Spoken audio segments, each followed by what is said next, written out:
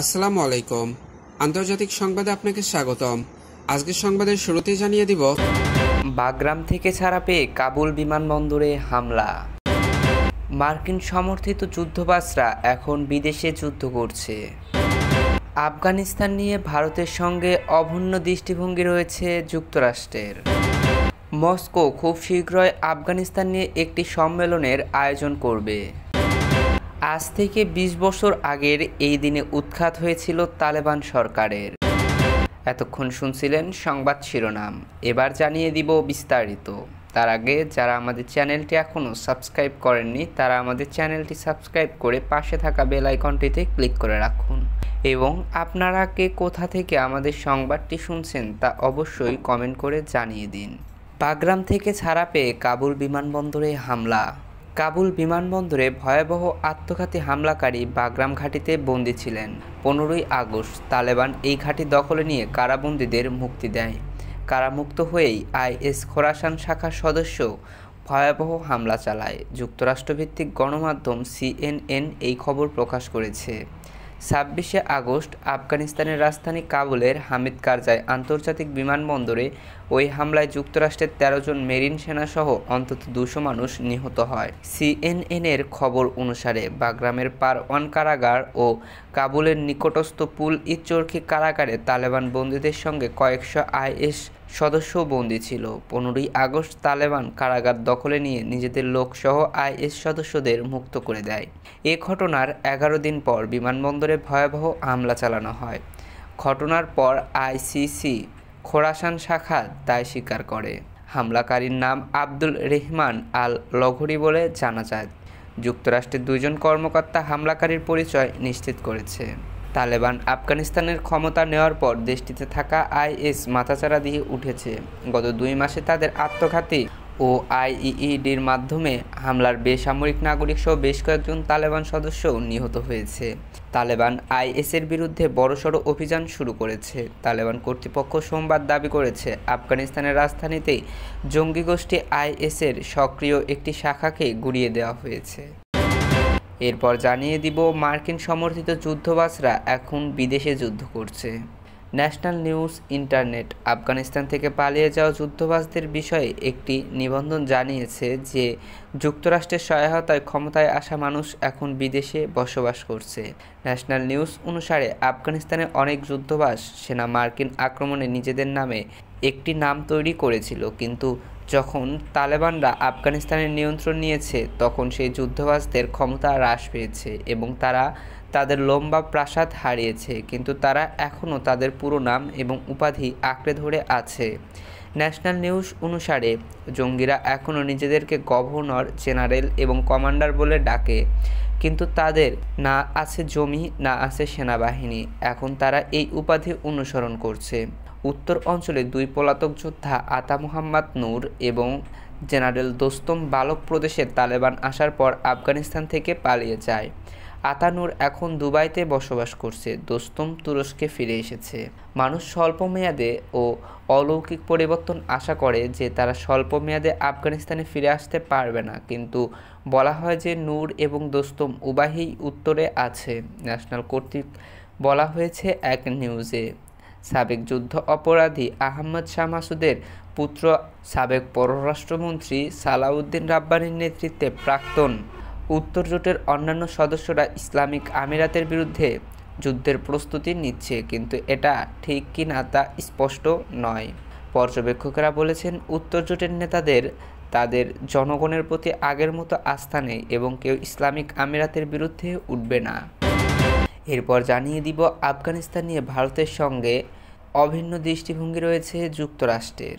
মার্কিন উপপররাষ্ট্রমন্ত্রী ওয়েলডি শেরম্যান, যিনি গতকাল ভারতের রাজধানী নয়াদিল্লিতে আনুষ্ঠানিক সফরে ছিলেন, তিনি আফগানিস্তান সম্পর্কে তার মতামত ভারতের সাথে শেয়ার করেছেন। তিনি বলেন, ভারতের নিরাপত্তা বিষয়গুলো ওয়াশিংটনের জন্য অগ্রাধিকার। আফগানিস্তানের প্রতি ভারত ও যুক্তরাষ্ট্রের অভিন্ন দৃষ্টিভঙ্গি এবং অভিন্ন মত রয়েছে। তিনি তার ভারতীয় প্রতিপক্ষের সঙ্গে এক যৌথ সংবাদ সম্মেলনে একথা জানান। মার্কিন ও ভারতীয় কর্মকর্তারা এই বিষয়ে কোনো মন্তব্য করেনি। সেই সাথে তালেবানের সাথে সম্ভাব্য মিথস্টিকিয়া। ভারত পূর্বে জোর দিয়েছিল যে আফগান মাটি কোনো দেশের বিরুদ্ধে ব্যবহার করা উচিত নয়। তালেবান দৃশ্যত এ ব্যাপারে অনেক প্রতিশ্রুতি দিয়েছে, কিন্তু সাবেক মিত্র সৌদি আরব সহ অনেক দেশ তাদের প্রতি অবিশ্বাস করেছে। আফগানিস্তানে তার শত্রু প্রতিবেশী পাকিস্তানের ক্রমবর্ধমান প্রভাবে চিন্তিত হয়েছে ভারত। তালেবানের উত্থানের পর পাকিস্তানের গোয়েন্দা সংস্থার প্রধান কাবুলের রহস্যময় সফর, তিনি তালেবানকে আমিরাত যোগ করার আগেও দাবি করেছিলেন যে তালেবানরা এখনও আগের মতোই পাকিস্তানের অধীনে ছিল এবং আদেশ অমান্য করেছিল। তালেবান এ ধরনের অভিযোগকে মিথ্যা ও ভিত্তিহীন বলে দাবি করেছে। এরপর থাকছে মস্কো শীঘ্রই আফগানিস্তান নিয়ে একটি সম্মেলনের আয়োজন করবে। রাশিয়ার রাজধানী মস্কো বৃহস্পতিবার আফগানিস্তান নিয়ে একটি শীর্ষ সম্মেলনের আয়োজন করবে। বৈঠকের সময় এখনও নির্ধারণ করা হয়নি। রাশিয়ার কর্মকর্তারা সমন্বয়ের জন্য আলোচনায় আছেন বলে জানা গেছে। রিপোর্ট অনুযায়ী নতুন আফগান সরকারের গঠন এবং আফগানিস্তানের রাজনৈতিক সহায়তা হবে বৈঠকের মূল বিষয়। তালেবান পূর্বে বলেছিল যে তারা বৈঠকে যোগ দেওয়ার জন্য রাশিয়ার আমন্ত্রণের জন্য অপেক্ষা করছে। রাশিয়ার কর্মকর্তারা বৈঠকের বিষয়ে বিস্তারিত কিছু জানাননি। এই পদ থেকে সরে যাওয়ার পর তিনি কি করবেন তা এই মুহূর্তে অজানা।